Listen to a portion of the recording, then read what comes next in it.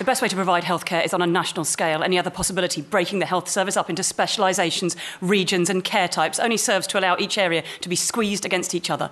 We don't need patients lying in their deathbeds wondering whether their primary care trust or their regional specialist service has let them down, wondering whether they should have chosen a different clinic or a course of treatment that was cheaper and less effective but could be offered for a longer period. Everyone needs a single point of reference for their healthcare. We go to the nearest provider and they refer us to the best provider for our needs. No ifs, no buts. And we need to get away from this idea that somehow healthcare provision is a competition with financial constraints or our economy. Somehow we can afford Trident, we can afford illegal wars, we can afford to leave a third of the world's money completely untaxed in unsure tax havens. And yet we cannot afford the best chemotherapy drugs for those who will die without them. In the US, where healthcare is not nationalised, a majority of home repossessions are related to healthcare costs, and a majority of those are among families who did have health insurance, but where the insurance had a cap or excluded certain conditions.